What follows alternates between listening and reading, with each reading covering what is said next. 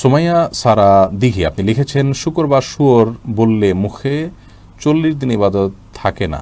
এটা কতটুকু ঠিক? না, শুয়োর বা শুকর কোনো মানুষকে বললে সেটা গুনাহের কথা, এতে কোনো সন্দেহ নাই। কিন্তু এর মানে চল্লিশ দিন ইবাদত থাকে না এরকম কোনো কথা কোথাও আছে বলে আমাদের জানা নেই। জাহিদ হাসান, আপনি লিখেছেন, ব্যবসা লাভের জন্য মালামাল মজুদ রাখা যাবে কিনা? যদি মালামাল মজুদ রেখা, রাখার দ্বারা উদ্দেশ্য হয় ক্রাইসিস সৃষ্টি করে দাম বাড়িয়ে তারপরে মুনাফা করা, তাহলে সেটা জায়েজ নয়। এটাকে শরীয়ত নিষেধ করেছে এবং হাদিসে স্পষ্ট নিষেধাজ্ঞা রয়েছে। আর যদি মজুদ করা হয় মানুষের কল্যাণী, যেমন ধরুন পেঁয়াজ আলু চাউল, এগুলো আমাদের দেশে সব সময় সব সিজনে যে সব কিছু হয় তা নয়।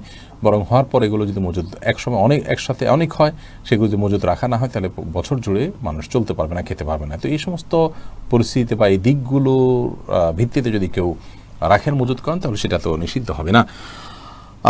এরপরে আশুর আবরার লিখেছেন, স্বামী হারাম উপার্জনের কথা জানার পর স্ত্রী করণীয় কি? স্ত্রী যদি বিকল্প কোনো পথ থাকে, তার জীবন নির্বাহ করার জন্য সেটি তিনি গ্রহণ করবেন। নিজের সম্পদ দৃষ্টি থেকে তিনি তার জীবন ধারণ করবেন, নিজে উপার্জনের সুযোগ তাহলে সেটি করবেন। স্বামীকে সৎ পথে আনার জন্য আপ্রাণ চেষ্টা করবেন।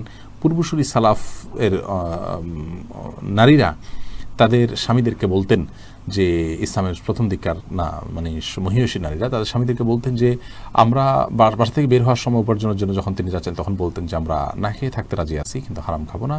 আপনি হালাল যেটুকু পান সেটুকু নিয়ে আসবেন। আজকাল তো বাসা থেকে নারীরা বরং পুরুষদেরকে তাদের বিভিন্ন চাহিদা পূরণের জন্য প্রেশার দিয়ে থাকেন, যার ফলে পুরুষ অনেক সময় অন্যায়ের দিকে যায়, আবার অনেক পুরুষ আছে নিজে থেকেই অন্যায়ের দিকে চলে যায়। তো এটা তো উচিত নয়, আল্লাহ তালা মাফ করুন। আর যদি কোনো মা বোনের এরকম হয় যে তার স্বামী হারা উপার্জন আছে, তার কোনো বিকল্প পথ খোলা নেই, তাহলে তার জীবন রক্ষা করার জন্য যতটুকু প্রয়োজন, ততটুকু তিনি গ্রহণ করতে পারেন। সেই সাথে তিনি বিকল্প পথেও যাওয়ার চেষ্টা করবেন, স্বামীকেও বোঝাবেন। এমডি সাকিবুল ইসলাম লিখেছেন, পাকা চুল তোলা কি জায়জ হবে? বিষয়ে একটা ভিডিও গত সপ্তাহে আমাদের পেজে এবং চ্যানেল আপলোড হয়েছে, দেখে নেবেন মেহরবানি করে, যাবে না এ বিষয়ে নিষেধাজ্ঞা আছে হাদিসে। শাহনওয়াজ শেখ, আপনি লিখেছেন, স্বর্ণকারের পেশা গ্রহণ করা কি জায়েজ হবে? কোনো অসুবিধা নেই, এটাকে পেশা হিসাবে গ্রহণ করা যেতে পারে, কোনো নিষেধাজ্ঞা, কোনো নিষেধ আছে বলে আমাদের জানি নেই। নাইম হাসান, তবে হ্যাঁ স্বর্ণ কেনাবেচার ক্ষেত্রে যে রিবার বিষয়টি আছে, সুদের বিষয়টি আছে সেটা সংজ্ঞা জেনে সেখান থেকে বেঁচে থাকার। ব্যাপারে আমাদের সচেষ্ট থাকতে হবে। নাইম হাসান ইমন লিখেছেন, পিতামাতা যাতে চিন্তিত না হয়, সেজন্য ছোটোখাটো মিথ্যা বলা যাবে কিনা? যেমন, খাওয়া নিয়ে অনুত্তম কিছু খেয়ে বললাম, যথেষ্ট ভালো খাবার খেয়েছি।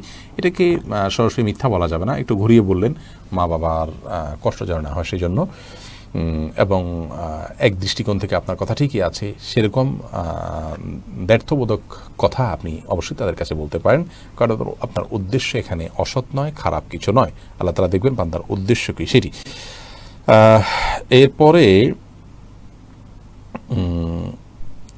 আমাদের মসজিদে ইমাম অনেক মুসল্লি এশার বৃত্তের নামাজ এক রাকাত পড়েন, তা আবার রুকু ছাড়া সরাসরি সেজদা চলে যায়। তো এই নামাজ কি পরিপূর্ণ সহি হবে কিনা জানাবেন। এইচ এম ইমরান হাসান নূর আপনি লিখেছেন রুকু ছাড়া তো নামাজ হবে না। কোনো নামাজ যদি রুকু ছাড়া হয় সেটা জায়েজ হবে না। ইমাম পড়ুক মুসল্লি পড়ুক যেই পড়ুক না কেন। আহ, বিতরের নামাজ এক রাখাত পড়া জায়েজ আছে কিনা? এটা নিয়ে ফুকা একের মধ্যে মত পার্থক্য আছে। নবী করিম সাল্লাহ আসলামের হাদিস থেকে বোঝা যায় যে দুই রাকাত করে সুন্নাত এবং অন্যান্য সালাদ শেষ করার পরে এক রাকাত দিয়ে সেটাকে বিতির করতে পারবেন। এটা ধরন কি? এটা নিয়ে ফোকা মধ্যে বিস্তারিত মত পার্থক্য আছে, বিশদ বিবরণ আছে। ইনশাল্লাহ বিষয়ে আমরা পৃথক কোনো ভিডিওতে সেই মতামতগুলো, দলিলের আলোচনা সহ উল্লেখ করার চেষ্টা করব। তবে রুকু ছাড়া বিতিরের কোনো ধারণা ইসলাম আমাদেরকে দেয়নি। এটি একেবারেই স্পষ্টত ভুল। মঞ্জুর হোসেন লিখেছেন, আমি জানতে চাই, কোন লোক হিন্দু না মুসলিম তা না জেনে সালাম দেওয়ার বিধান কি? যদি মুসলিম মনে হয় সালাম দিবেন সুধারণার ভিত্তিতে, আর হিন্দু মনে হলে সালাম দিবেন না, বা অন্য ধর্মের মানুষ হলে সালাম রামেত্তাবার হুদা, তার জন্য যে সালাম, সে সালাম দিবেন। এরপরে ইসমাইল কামরুল, আপনি লিখেছেন, লটারিতে পাওয়া টাকা কি করব? আপনি এটা দান করে দিতে হবে। সবের উদ্দেশ্য ছাড়া, এমডি সাদ্দাম হোসেন লিখেছেন, হারাম ইনকাম করা কাউকে কি ব্যবসায় পার্টনার করা যাবে? যদি তার উপার্জনটা পরিপূর্ণই হারাম হয়। এবং সেই টাকা থেকে আপনার সাথে ইনভেস্ট করবে অবশ্যই আর যদি হালা এমনি সাকিবুল ইসলাম লিখেছেন, আমার বউ চাকরি করতে চায়, তাকে কি চাকরি করতে দেওয়া যাবে?